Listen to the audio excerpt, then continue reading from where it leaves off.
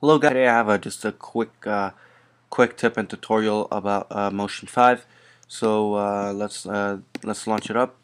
And uh, what I'm going to be covering today is uh, how you get these extra extra effects, extra transitions, extra templates. And for some of you might have downloaded Motion 5 and you do not have any of these templates. So I'll showing you how to I'm be, I'm be showing you how to get them and you can either get them in two ways. The first way is to head over under motion. Under motion you'll see that it says download additional content. But since I've already downloaded my additional content it has uh, basically blocked it out for me. And under uh, you could do it also under the Apple logo. Want to head over to software update and as soon as you open it you'll find uh, that little motion 5 um, basic uh, templates, uh, extra effects, extra transitions, and stuff like that. Just uh, download it. It's about 1.2 gigabytes, so it's basically exactly the same size as Motion, but it has all the uh, all the effects, all the uh, transitions, and templates. So that's just a quick tip uh, if you guys are wondering how you don't have it. And now I have a request uh, by a YouTuber who wants me basically to show you guys how um, to do the same thing as we did in the old template, as we did in the, uh, the I think we did it in the atmospheric one, but to do the same and a little bit more advanced on decode. So you want to go ahead and click on the decode uh, right now and hit open a copy. Once you've opened up uh, uh the actual decode thing, uh, just skim through the timeline, make sure everything is there, and on your text place once your text is here. And also one quick tip I keep forgetting is to always hit Shift Z to fit it right in place because sometimes you might wondering uh, how is the title so big? So yeah it's not actually the title it's uh, your your text not the text the uh, actual uh, way you fit the video on here. So you want to hit on this uh, little arrow here to break up the, the two elements. You want to click on the title and you want to um, you know, type in whatever you want. For this one, I'm going to type in uh, HS Tutorials 101. And under here, I'm going to hit the subscribe. Just a quick subscribe. And uh, once you're done, hit the escape, and you're done with that.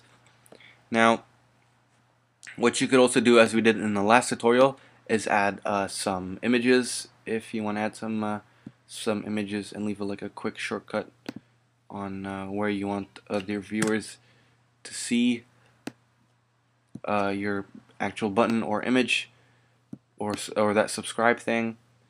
So you just want to add a quick text or uh, or image on here. And then through video through YouTube you want to annotate it and uh, make it subscribe to actual thing So you want to move your image to match up wherever you are in the timeline. And as you could see, once it is done, so basically, once that uh, video is out of the way, you'll see the subscribe button come up. And there it says, uh, basically, HS Tutorial 101. Oh, subscribe, and uh, have everything on there. And uh, so uh, little more features to do on here. So you want to head over also again uh, if you want to add uh, some filters, behaviors, and uh, stuff like that. So under your filters, um, actually let's add a behavior onto this image to make it a bit more advanced. So you want to find your image, move on the timeline, and you have a basic couple of um, of uh, behaviors on here. So what you want to do is uh, basic motion for this tutorial and uh, we'll do a basic uh, grow and shrink. You want to drag that on your image. And once that's done you want to hit the uh, my bad guys. You have, to, you have to head over to the inspector. So you want to click on your uh, your behavior which is a grow and shrink. And you want to head over to your inspector. And you want to scale the size of your uh, image. So you want to make it bigger smaller. So let's make it bigger. So it grows in size.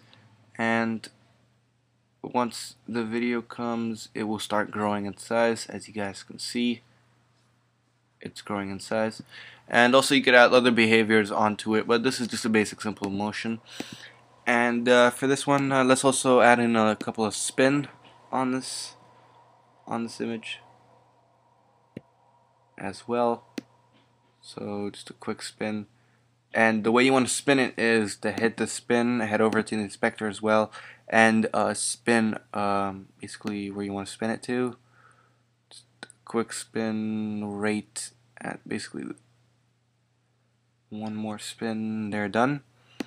And uh, you could uh, basically create it uh, as a continuous rate or uh, stuff like that. You could head over either to the y-axis to make it spin in the y-axis, the uh, z-axis, or uh, the easiest one, which is the x, which just actually just basically spins it like this. But for this one, uh, let's keep it on to the uh, uh, z-axis because you actually want to annotate this and you don't want to keep moving the annotations. So basically, just keep it on like this and as your project moves it will start spinning spinning spinning spinning spinning until it reaches the end. And the annotation will always stay in that place. And of course our subscribe button keeps spinning. And your image keeps spinning as well. Other behaviors you might also want to add on to here is uh, just basic stuff. Um, you could also add uh, some text animations if you guys want to like a, a type on feature. So you want to head over to your text area and you want to drag your behavior right under the text you want it to be on. And so once that's there, it starts typing in your actual title. So uh, that's that's pretty neat as well if you want to you know create it like that. And uh, if you want to head over onto your uh, text tracking on your subtitles, you want to head over down here and do it the same as well. So that's it guys. Uh, be sure to thumbs up, subscribe, and rate this video. Um, I'll be having some other videos, and be sure to subscribe to my other channel. I'll leave an annotation on the actual subscribe button here. So be sure to subscribe, and I'll catch you in the next one.